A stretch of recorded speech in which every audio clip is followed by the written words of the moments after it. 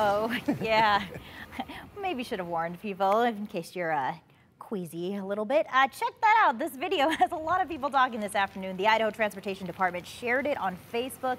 They say their maintenance crews see a little bit of everything in southwest Idaho, and that includes Mormon crickets. Now, this video was from State Highway 51, and Using a grader to get them off the road. And the thing is, if a lot of traffic goes over it and smushes a lot of them, can actually make the road slick and dangerous. Wow. Get those bugs out of here. Yeah, bug out. Sweep them off.